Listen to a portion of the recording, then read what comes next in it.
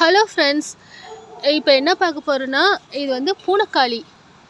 பாருங்க எவ்வளோ கொத்து கொத்தாக காய்ச்சிருக்கு. இதனுடைய பூ பார்க்கலாம். அவ்வளோ அழகாக இருக்கும். அது மேலே உச்சியில் தான் இருக்குது காமிக்கிறேன்.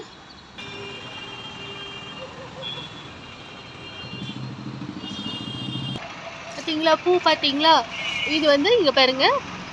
இங்கே ஒன்று இருக்குது இங்கே பாருங்கள் பூவிலேருந்து பிஞ்சு வருது.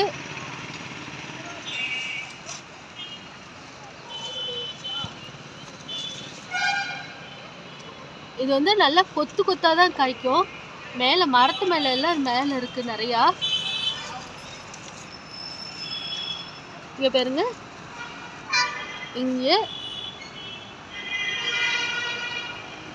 இது வந்து நிறைய பெனிஃபிட் இருக்குது இதில். மருத்துவ குணம் வர வாஞ்சது இது அங்கே பாருங்க.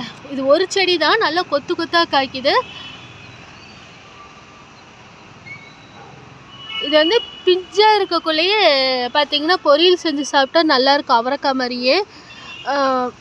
ஆனால் இது ஹீட் இது சாப்பிட்டா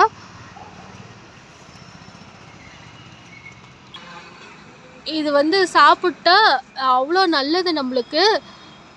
பொரியலும் செஞ்சு சாப்பிட்லாம். ரெண்டாவது இது காய வச்சு இதனுடைய கொட்டை அவரைக்காய் மாதிரியே இருக்கும் உள்ளார பெருசு பெருசாக அதை வந்து கா காய வச்சு கொஞ்சமாக பாலில் கலந்து சாப்பிட்டோம்னா ஆன்ம குறையெல்லாம் நீங்கும் அப்படின்றாங்க. இப்போ இருக்கிற பிரச்சனை மெயினாக நிறையா அதுதான் இருக்குது இது வந்து இயற்கை கொடுத்த ஒரு வயகரான்னு சொல்கிறாங்க ஆனால் இது வந்து இது சாப்பிடும்போது பார்த்திங்கன்னா ஹீட்டாக இருக்குது உடம்பு பாடி ஹீட்டாக இருக்குது இது உடம்பும் குறையுன்னு சொல்கிறாங்க